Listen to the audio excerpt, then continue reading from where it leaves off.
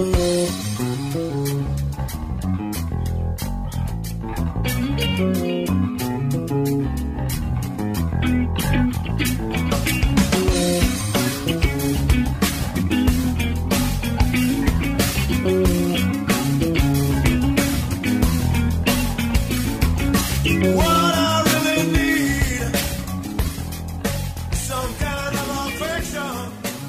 Greetings, everyone. Richard Solomon and Antonio Saillant. That means this is a production of Taking Care of Business and Rock It Green Radio. And we have an incredible special guest today. Our very, very special guest is Taegen, who's with the perfectworldfoundation.org. The Perfect World Foundation seeks to conserve wildlife. And, and in this, in this age, it's, it's a real struggle. Welcome to the show, Taegen. And uh, to start, tell, tell us about what the Perfect World Foundation actually does.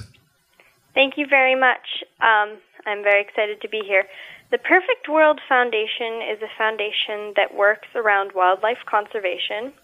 They help to raise awareness about endangered and um, species that are going to become extinct, and they are have many ambassadors who work with different missions based on their passion in order to um, raise awareness about their mission. Okay, and you're an ambassador yourself, correct?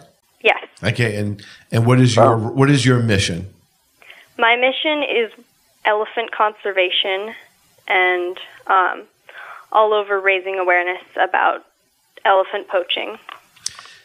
There, there seems to be a, a huge problem with I think is it we, we lose 96 elephants a day, roughly. Yes, we currently the rate of extinction and um, killing for elephants is 96 a day, and that is one every 15 minutes. That's unbelievable. So, in the course of our show, we're going to lose four elephants. Right. Yeah. Is that specifically uh, worldwide or just a specific area where? Um, that's a generalization worldwide. Okay. Well, where do ele- where do elephants generally reside, and in what habitats do they reside in? So there are different types of elephants. Um, there are the Indian elephants, are the African savanna elephants, and so they have different. Um, their ivory has different qualities based on where they live and based on how it has adapted. They have adapted to where they live. And so some ivory is hollow. Uh, there are also the forest elephants, but some ivory is hollow, some ivory is not, and there are different qualities. Okay. Well, okay. Now they're being threatened only because people want to use their ivory. I sent it's I guess for artwork or, or carving. Um. So their ivory, they're being poached for their ivory. Um, their ivory is not just used for artwork, it is used in the illegal ivory trade um, for jewelry. It can be used for piano keys, as many old pianos were. Um, it can be used in guns to inlay guns. Um, it can be used in many different ways. It people use it because it's very pretty and it also is um, malleable, so it's easy to work with. Um, it is the way that it's being taken is um, the poachers who come to kill the elephants normally. Um, they're taking it and they're selling it on the illegal in the illegal ivory market, um, and money is putting uh, or money is being put into the hands of different um, poachers and stuff armies, like that.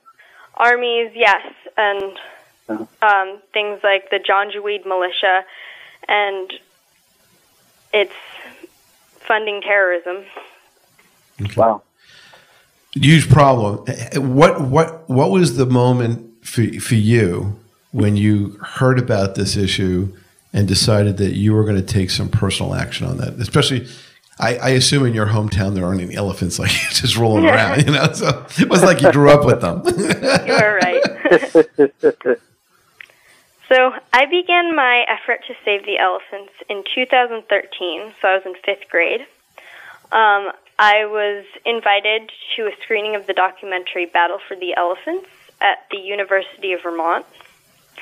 And after the movie, I began educating myself on the importance of keeping elephants on this planet because it was something that as soon as I saw the movie, it struck me as I need to do something.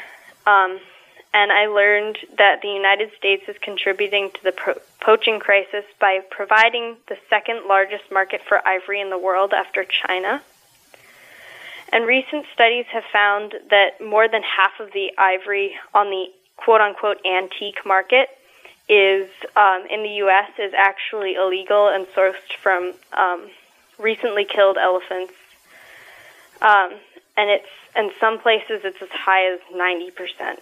Wow, that is a very high percentage. Wow, I mean it's ridiculous. So watching this film is what got you really um, to target into elephants? Is, is that was that your your main target, your main goal?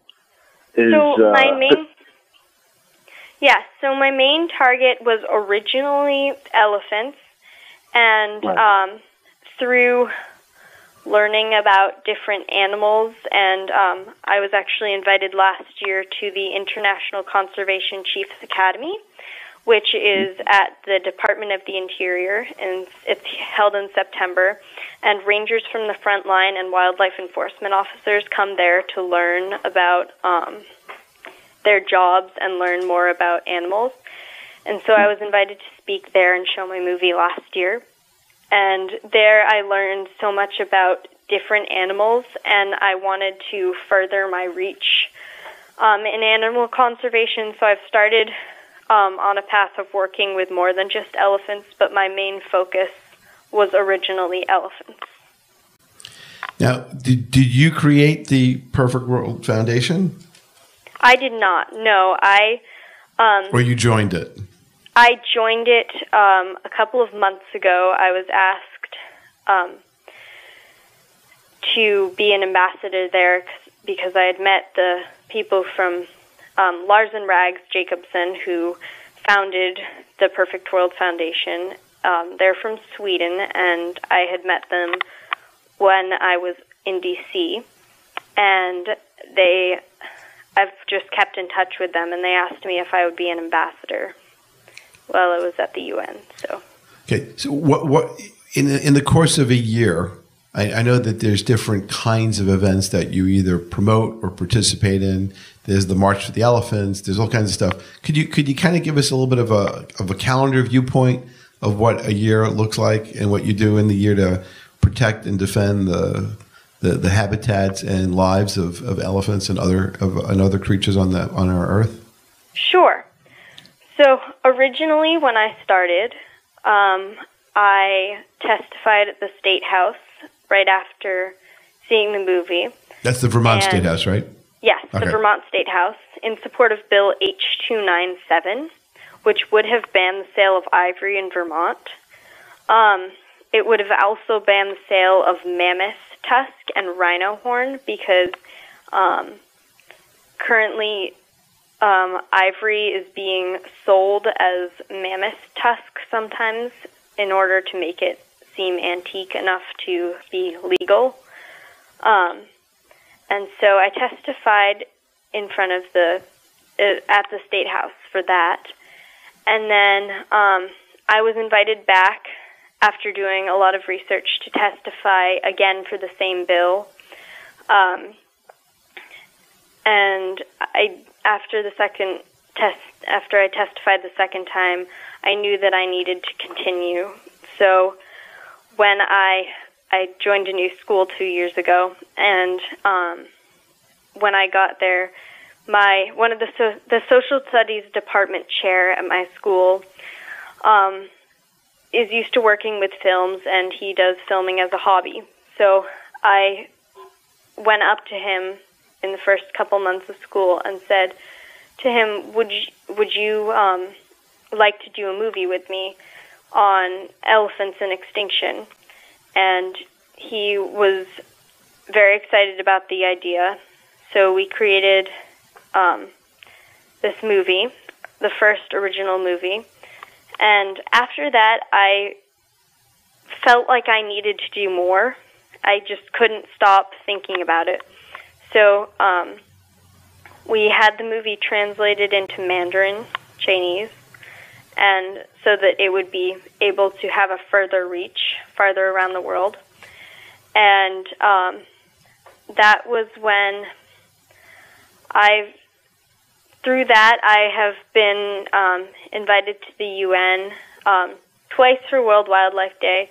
The first time I was invited to come and I was recognized on the floor of the UN, but I was invited to just come and watch um, and see what the whole CITES conference was about.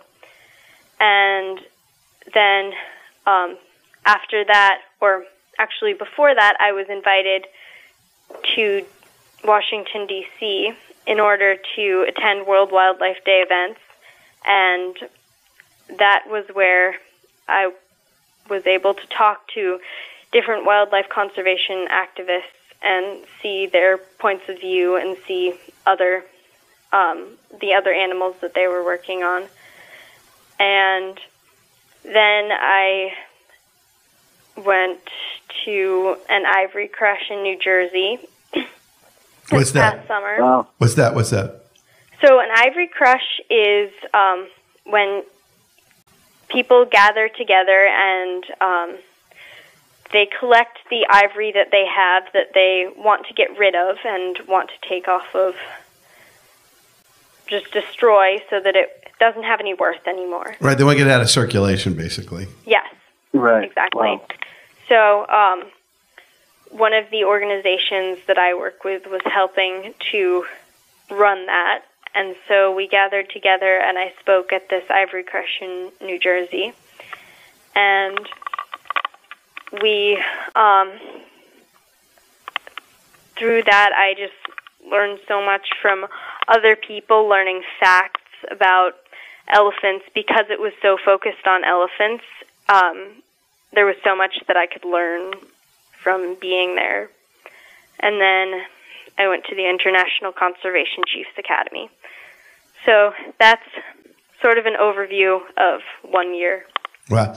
Now there are, I guess, certain benchmarks during the year. So you you said there's, it, I forgot, is it March or October where there's the, the the yearly March for the Elephants? What what day is that on the calendar? That is in October. That's October. yes. And is is it nationwide, statewide, worldwide? And how do people find So- out about that?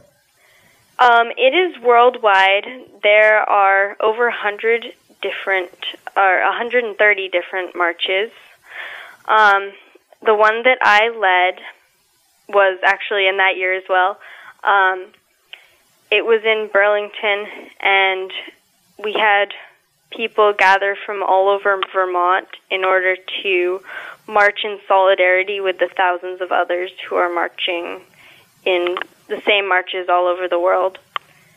And so we all marched, and um, I was actually, I know a resident artist um, in Vermont who, her name is Teresa Davis, and she owns the Davis Studio. And so I went to her um, asking if we would be able to make something that would symbolize the 96 elephants that are killed a day.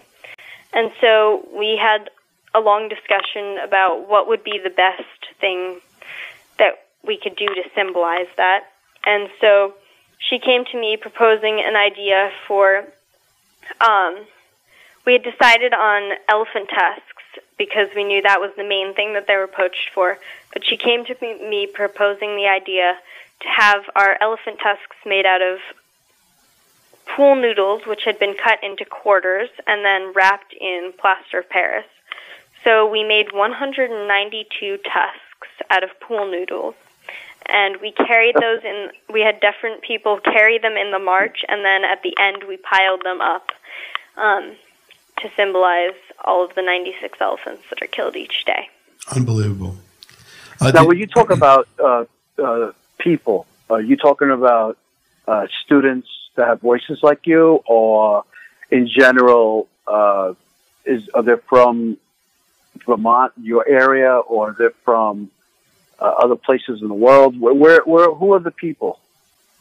So, um, all of these people were from all over Vermont. Um, they are teachers, parents, students. Um, I had Right. chosen a group of representative students that came up with me to, um, while I was speaking, to show that they had been making a difference at their schools. And they are all around my age from different schools all over Vermont. And um, they were kind of my representative, the representative students for their schools. So let's let's start before we have a break, which will be in about mm, three minutes or so. What are the action steps we can take as individuals to actually help be part of the solution? Sure. So, the number one thing that I have always said to anybody who wants to get involved is that they talk to, they educate themselves and then they talk to other people and spread the word because that makes so much of a difference. If people, if other people know, and if other people are educated on the subject, then they will do something too. You can't do anything about the problem if you are not able to fix it because you don't know what the problem is. So once you educate people, they will take action as well. All right, so let me stop you there for one second. In terms of educating people, where can they go? Obviously, to your website, uh, theperfectworldfoundation.org, but where else can they go to get some good, solid information that, you know, boils it all down to, you know, easy to understand format? So the Perfect World Foundation is not actually my website, but um, you can definitely go there. Um, on my bio, there are action steps. Um, if you if you go to www.facebook.com forward slash a world with elephants, um, that is my Facebook page, and that is where I am able to, or that is where I explain the action steps that people can take. My movies are there, and um, that's where you can see what action you would be able to take. All right. And then Okay. I would also recommend um, www.96elephants.org. All right. With that, we're going to have to uh, take a quick break. We'll be right back. This is Richard Solomon, and Antonio Saillant. This is Rock It Green Radio and Taking Care of Business. Pardon me. And we're with uh, Taegen, uh, who is really doing a tremendous job in helping to protect and save uh, elephants on the planet that we're losing at the rate of 96 a day. Keep it locked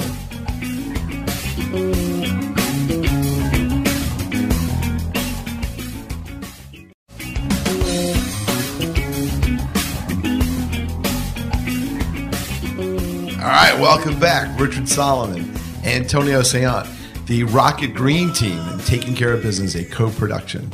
Uh, we're with Taegen, and uh, we're, we're trying to help save the elephants. And I guess uh, Antonio and I are trying to do our part by getting Taegen's message out there to all of you uh, so you can actually be part of the global solution, which, which would actually be really, really nice. So, Taegen, we already kind of went through step number one, which is sort of education, self awareness. But what can people do? Uh, because people like Antonio and I, we don't really see ivory in our day to day travels. We don't.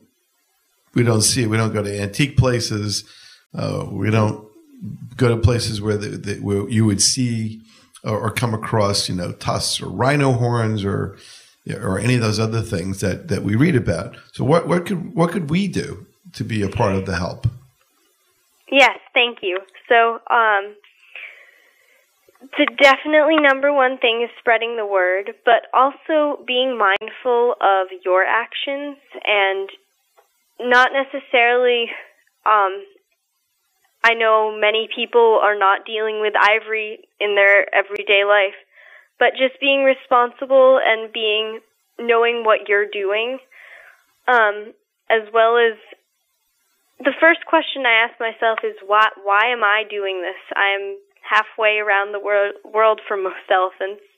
Um, and I so Vermont because it is or the US because it is the second largest market for ivory in the world. Um, there are so many different. Um, the illegal ivory can just slip into here because there is a ban um, on ivory coming into the U.S., but we must ban um, put place ivory bans in um, every state because once it is in the U.S., if there are no bans in different states, then um, the ivory just can make its way through. And currently, New Jersey is the only state without exemptions in their ban. Um, California, Washington, New York, Hawaii, and Oregon currently have bans with exemptions of different types, specifically based on what state they are. Um, who are your mentors? Um, that, do you have any mentors in your life uh, that you you speak to about saving the elephants and and your action plan? Definitely, there. Um, I have had a lot of mentors um, throughout my work. Um, my original first mentor was Laurel Neme. She is a writer for National Geographic, and she is one of the ones who got me introduced to the subject of the ivory trade. Um, and I originally worked with her a lot because she knows a lot about um, illegal markets for animal parts, um, as well as um, Bryan Christy, who is the founder and chief of the Special Investigators Unit at National Geographic. Um, I look up to him quite a bit for things that I need to know. Um, he's very um, on top of whatever is what everything that's going on in the illegal market for animal parts, as well as Jen Samuel, um, who is she's works for Elephants DC, and I have done a lot of work with her to further my passion for elephants. Have you ever got a chance to go to elephant preserves in either you know India or you know in the African savannah? I have been asked this quite a bit. I have never actually seen an elephant. I would love to be able to see an elephant um, in real life, and that is one of my dreams, but I have not yet. Tell, tell me about elephants as as creatures. They're they're supposedly smart. They're supposedly emotional. Uh, they take care of their young. What can you share with us about your knowledge about what, what, so, what what's it like when an elephant wakes up? You know, they go to work, grab, grab, a coffee. Yeah. uh, yes. So, um, elephants are altru- altruistic creatures, meaning that they have a selfless concern for the welfare of others. And um, so what is happening right now is that even they have um, a selfless concern for the welfare of others, even outside of their species. But currently, as humans, because of the poaching crisis, we are kind of lowering ourselves on their scale, I guess you could say. Um, mm. They're becoming scared of us because of what we have done to their populations. Um, and they know it. They know. know and they have memory. Yeah. Yes. And they also say that an elephant never forgets. They have. That is why it's difficult um, when a baby elephant goes through the trauma of having their mother killed for her ivory. Um, there are actually sanctuaries that take care of baby elephants whose mothers have been killed because it they go through so much trauma and they don't forget that. They that will be with them forever. And so do do the males and females both have tusks? the males and females both have tusks. The males tend to be longer um, but they're definitely more dangerous to hunt because they're so much bigger and stronger yeah. generally. Just so you know just so you know, I get invited to a lot of art galleries here in New York City, and because uh, I'm part of the uh, New York City art world, and I'll be honest with you, just like Richard uh, said, I have not yet seen ivory or any that type of exhibit in New York City at all, or any state so far that I've been.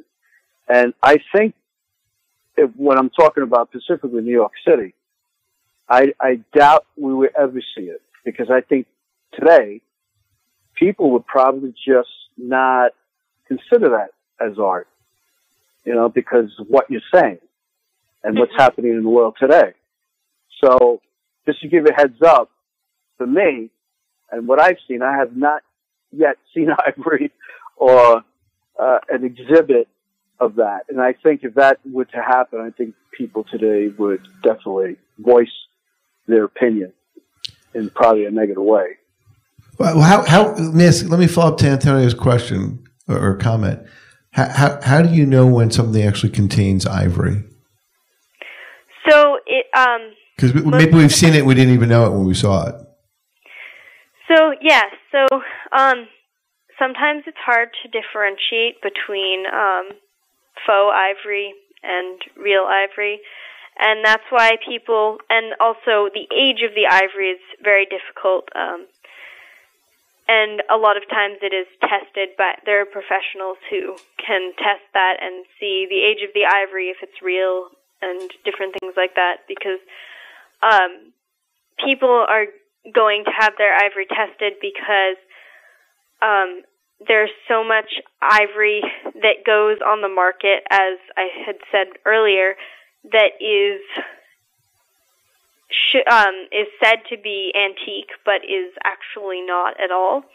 And there is um, people can um, make the ivory look as though it is old or antique. They can age and, it. They can yeah, age it. they can they can age the ivory, and um, there are people who are able to differentiate between legal and illegal ivory.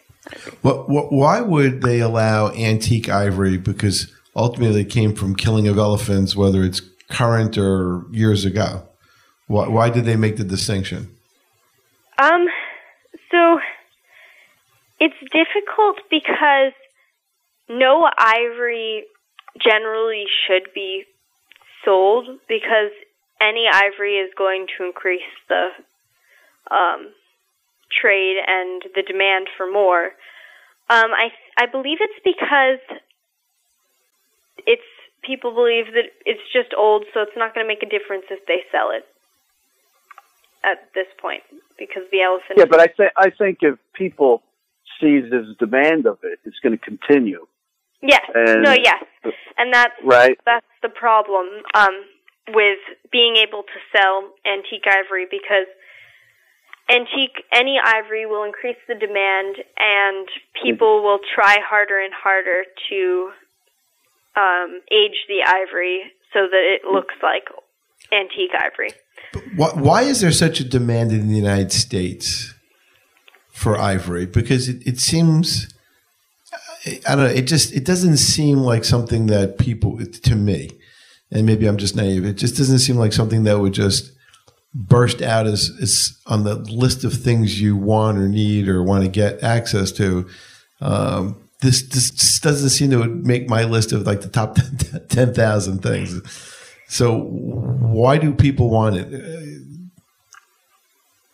Yeah. So um, it's because it's um it's usually not in you wouldn't usually see ivory in the general public um unless it was somehow um I'm somehow had gotten there um like jewelry usually, and so on it's right? usually found in antique stores um right. and that was one of the main reasons um or problems that we had with Bill H297, um, which our bill passed the House but was abandoned in the Senate because of a lengthy list of exemptions, because we had many um, many antique dealers um, come and testify against the side that I was testifying for, be- saying that their um, the amount of people that they normally get in their stores was going to decrease there um, because of the fact that people wouldn't be able to buy ivory anymore, which was um, one of the women that I work with did quite a bit of research, and ivory barely accounts for any of the um, any of the money that they are making. Have Have you ever done an internet search using a search engine just to see if anyone's actually selling ivory based products? So I have not. Um, I've done a lot of research on statistics, but I have not done any specific research on if people are selling ivory in Vermont. Um, currently, I've just been going off statistics, but that would be a very interesting thing to do. Because I'm wondering, you know, uh, aside from the soap that has the same name, uh, I wonder Yeah. what I, I wonder what you would actually find if you look for it. Um, now, Don't they, uh, Richard? Don't they? Um, I mean, I could have sworn that uh, years ago somebody told me that ivory also uh, you see it in, jewelry, in certain types of jewelry. Uh, is that true? I, I don't know. Would that be a factor too? Like certain people are using ivory for that, just to basically show and tell, you know, for uh, cosmetic type looks, you know, and uh, you know, wearing a bracelet or chain or something like that. That's what I Yes. was told. That's um yes, that's one of the main demands. That's um, mainly in China. Um, that it is used for jewelry and um, generally the wealthier parts of the population um, in, will buy jewelry that is in, in, composed of ivory. In terms of the United States, is are there certain states in the United States that seem to have more of a demand for ivory than other places? Um,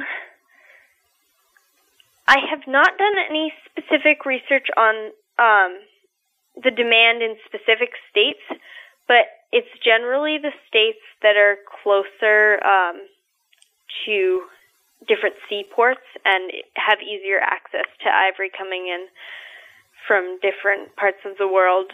Um, and in 2000, 2007, there was an ad campaign in China um, that communicated the origins of ivory, and it is estimated that 75% of the Chinese urban population saw the campaign, and the number of people who would subsequently buy ivory was cut in half. So, bringing that back to um, what I had said earlier, that if people see, um, because so much of the general population doesn't see ivory in their daily lives, um, if people see the problem and they know that there is a problem, it is easier to do something about. In, in terms of, because we only have like uh, two minutes left, in, in terms of your contact information, uh, I know you could you just repeat your Facebook and, and other places that people can look up your information and contact you and maybe uh, try to offer their insights or maybe make donations or things like that. Where would they go? So, um, my Facebook page is www.facebook.com slash forward slash a world with elephants. And that is where the information, both of my movies that I've created are on there, um, as well as um, information on action steps and what the general public can do in order to take action on this issue. Um, definitely check out um, the Perfect World Foundation. They have a lot of information on not just elephants, but different species and what they have been doing. Um, 96elephants.org has great um, action steps as well as pledges that you can do. and all right. So I'll tell you what, when we come back, when we come back, I'd like to talk about because we only have one more segment after this. I'd like to talk about uh, the two movies and uh, sea turtles or rhinos, uh, penguins. Was it penguins? Pangolins. Penguins. Yeah, I know because I was looking for like the little, you know, the little birds and from the Antarctic. Not quite. you know, so, so when we come back, I want to talk about all of those topics. So keep it locked in. This is Richard Solomon, uh, Antonio Saillant, Rock It Green Radio, taking care of business, co-production of our two radio shows on environment to, to discuss uh, environmental f- issues and put them in the forefront because it's really important that that that we raise awareness of, of a lot of things that are out there that may not be making it to the traditional media and, and need to be heard and need to be voiced and need to be expressed. So with that, we'll be right back. Keep it locked in, and we'll be right back after this quick, quick break.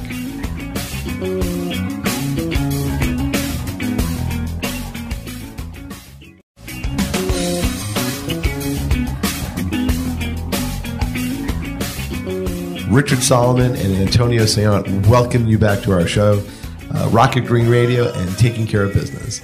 And we have Taegen on uh, with us uh, from Vermont. And uh, she is definitely a, a, steward of the environment, uh, someone who's really uh, passionate and, and, an inspiration to a lot of people, in, including your hosts. So, Antonio, you're the filmmaker, so why don't you take the next segment of questions? Sure. No, what I wanted to ask you because I saw the film and and uh, that you actually mentioned in the first segment, but um, Young Voices for Wildlife. Can you talk about how did you come about to organize and to start filming this with your teacher, and what is it about? Who's in it, and uh, what's the message that you're sending to me and Richard and to the world? Sure. So this second movie is Young Voices for Wildlife. This is actually the second movie that I've created. Um, this one was made specifically for World Wildlife Day this year, World Wildlife Day 2017. Um, and it does not only focus have a focus on elephants, but it's elephants, rhinos, pangolins, and sea turtles. And um, it has it shows other species that are endangered as well. Um, and it talks about how kids and um, young people like me can get involved in um, advocacy, advocacy work. And the people who are in the movie are my classmates primarily, um, a lot of kids from different grades in my school. Um, our school, the unique thing, one of the unique things about our school is that all the grades are very close. So I have people in this film from all different grades throughout my school. And it was wow. it was produced by um, the chair of the history department at my school named Mark Klein Lucy. I, I saw the credit in the film at the end. I thought that was really cool. Um, so you have you have two films, and they're both up on YouTube. Yes. Okay. And then one's so one's like a shorter version, and one's the more extended version. So there are actually two completely different films. The original um, one that I had created was specifically about elephant poaching, which is on my Facebook page. Actually, they're both on my Facebook page, but you can view the short version and the long version of the movie Young Voices for Wildlife on YouTube or on my Facebook page. Now, let, let, let's let's kind of continue the journey. There's so many. There's habitat destruction. There's loss of species. I, I, remember seeing in one of the movies uh, that there's been different cycles of extinction, but this is the first time in world history that this cycle of extinction is being caused by, caused by people. Uh, could you reflect on that? Yes. So there have been um, a couple. There have been quite a few mass extinctions um, in the history of our planet. This is the first and only so far to be um, completely related to humans and to human destruction of habitats.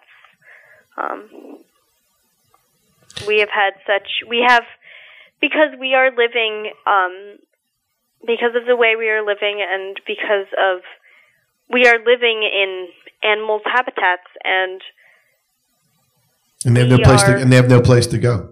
yes, exactly, we are taking over all different habitats and polluting others. So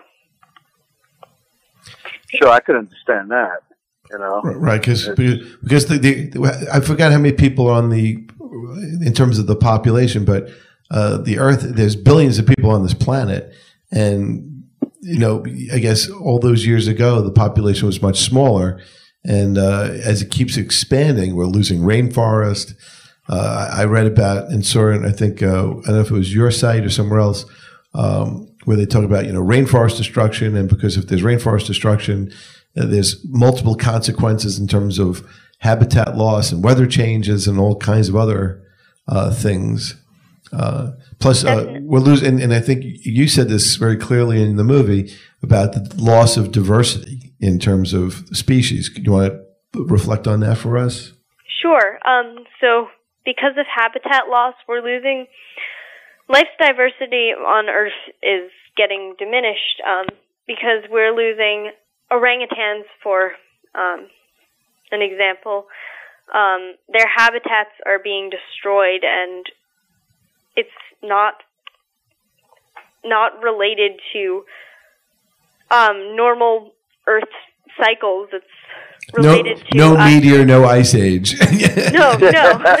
There's no meteor, no ice age. It's it's related to us, and we are also animals, and we just are kind of not respecting um, the general cycle. And well, basically, we're we're devastating. We're changing the food chain.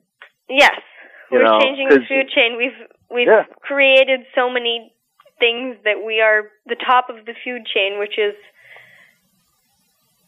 there are definitely animals that are the top of the food chain, but it depends on their ecosystem and the environment that they live in. And we are kind of just creating our own, we're setting our own bar for the top of the food chain. Sure. Well, look, little insects like uh, bees is a big factor in our lives. You know, so if they go extinct, we're we're in trouble. That Yes. We're, we're actually we're actually we're that's it's called colony collapse disorder, and we're actually in trouble already because if you think about it, fruit, uh, things like almonds, the whole, the whole almond industry, in, I think California, is threatened because if if you can't have the pollinators go out there and do their job, then we can't have fruit and and things that require pollination, and that that destroys our food chain um, and then all the other animals that that incidentally eat the same fruit that we do. Uh, and- Sure. and, and- yeah, we. it's billions of dollars uh, you know, of, of produce. It's like a domino effect. It's as soon as one, as um, for an example, we can use elephants. If elephants were to become extinct, there are only or there are over a hundred species of trees, just trees that have to pass through the gut of an elephant in order to germinate. So we would lose hundreds of types of trees um, and diversity in the um, rainforest and forest of different places all over the earth if we were to lose elephants. And that's just one example. You know, there's a similar example. Um, I, I interviewed uh, a woman at Book Expo America who's an author of, uh, I forgot the, the exact title of the book, but it was like a, a way to um, reduce your sugar cravings by having sort of a sugar detox diet. And uh, she was saying that one of the problems is that because we tend to, as as humans, only eat very narrow spectrums of food, which is sort of like lettuce, tomato, onions, mushrooms, broccoli, whatever, that farmers are not making some of the more exotic kinds of foods or, you know, like, you know, I don't know, like red lettuce or, you know, red Swiss chard or whatever. Um, and as a result, because the farmers are not growing that stuff, that those kinds of important vegetables are disappearing from our diet because they're not being farmed, and they're not being eaten. And so we're losing, you know, that as well because we're eating too narrow of a band of food because you're supposed to have a, a, a very rich and diverse, very colorful diet of all kinds of vegetables and fruits of different colors because the different colors represent, I guess, different kinds of um, vitamins, and minerals, and antioxidants, and all and phytonutrients and all those stuff. Uh, so that that also is a parallel thing in terms of what we actually buy. Because if you just buy the same things, um, sure, and it's too narrow. Yeah, and also rolling that back into species, there are, um, as you were saying, um, crops are being grown. Different types of crops are not being grown, um, and there are species that eat those crops as their primary food and are not able to eat those crops anymore once they are not being grown or are being taken out of their ecosystem. And it's kind of funny too, um, especially in the U.S. We go to other parts of the world, and a lot of their food is um, what they have been eating for hundreds of hundreds of years, and um, their diets are so diverse and things that we wouldn't even generally think of eating. And so I mean grasshoppers? yeah, exactly. Oh, Richard, if you ever go to New York, I, I don't know the name of the uh, restaurant, but they sell exotic foods like that. And I I never been there, and I I can't even imagine you know, well, I, I eating did, a grasshopper.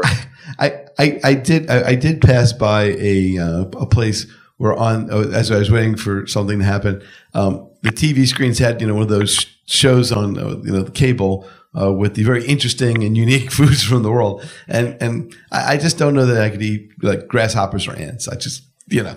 Uh, no. and I know I, definitely I, understand that. I, know it's good protein and all the other stuff, but I just I don't know. Uh, nope. Ain't gonna happen. I'll, I'll stick. I'll stick to buying the red leaf lettuce and the Swiss chard. you know, the the unique. You know, the the, the purple radish or whatever. Uh, so, uh, tell us a little bit about sea turtles and rhinos and it, not penguins, but penguins. Pangolins. Pangolins.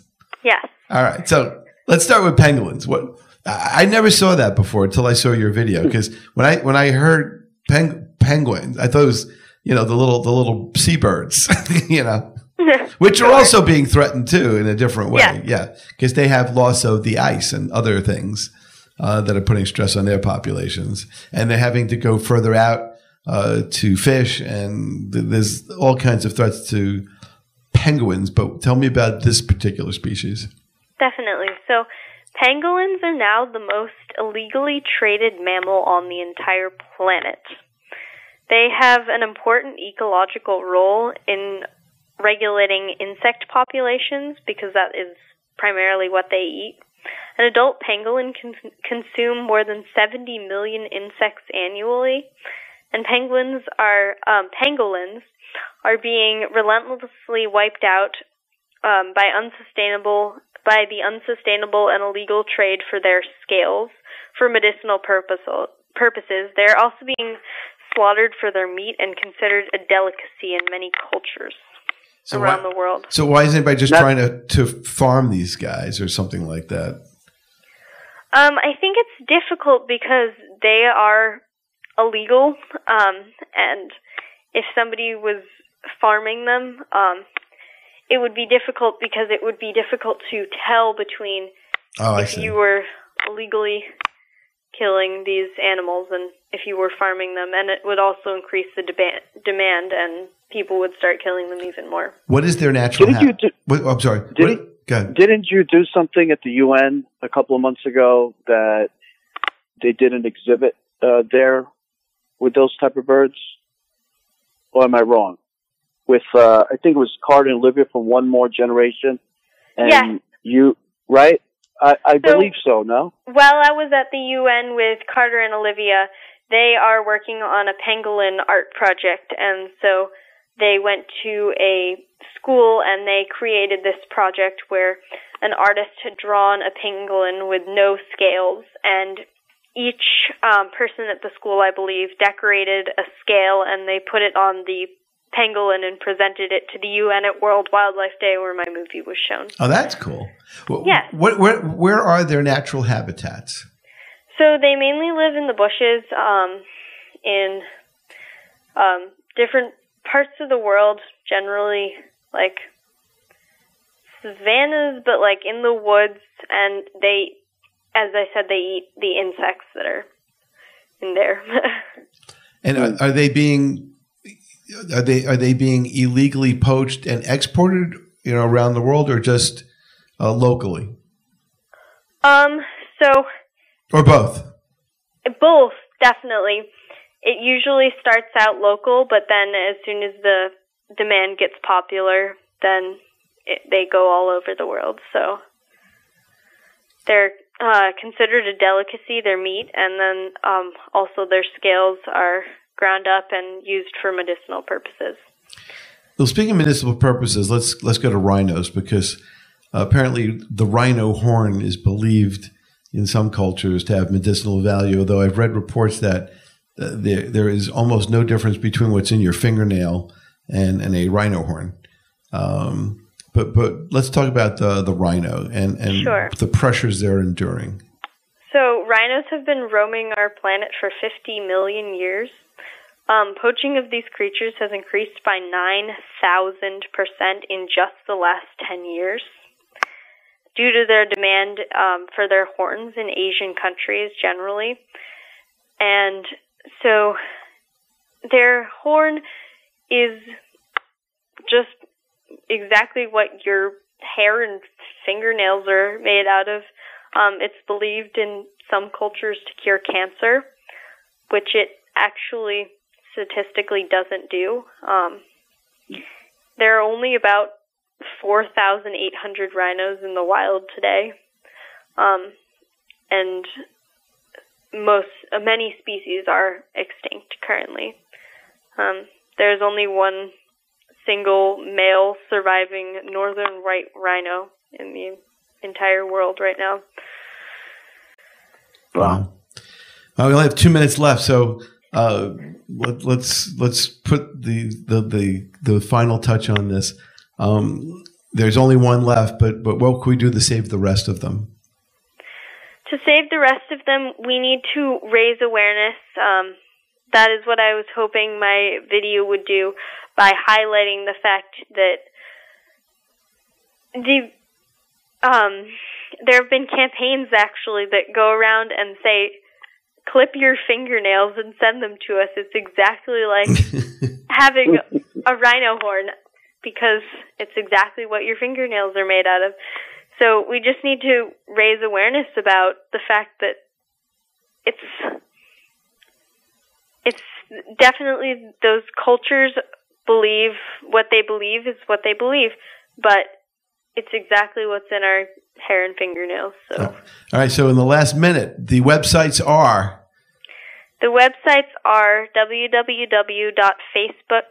www.facebook.com forward slash a world with elephants.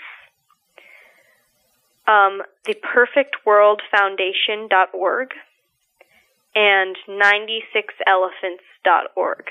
all right. That's going to do it for us. Taegen, keep up the good work. You're an inspiration to us and to many of Yes. your peers and to people out there. Antonio, thank you as always, and for everyone out there listening. Uh, let's try to be part of a team of people who can actually go out there and, and make some positive changes. With that, thank you for listening. We'll see you in a week. Thank you for having me. Loved having you. Thank you.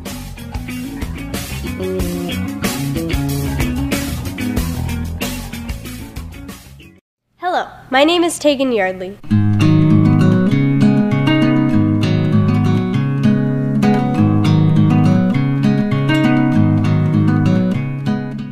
Did you know that our planet has lost half of its wildlife in the past 40 years? Tens of thousands of elephants are killed each year. Rhino poaching has increased by 9,000% in the last 10 years. Millions of pangolins have been slaughtered. The loss of our planet's creatures is eroding life's diversity on Earth, and the loss of diversity puts all life at risk. With the efforts of world governments, conservation organizations, and passionate individuals, we are making progress, but more must be done. Let us all do one thing today to help protect the world's wildlife. You might think, I'm just one person. What can I possibly do? But the truth is, we all have the power to do something, and the worst thing we can do is nothing.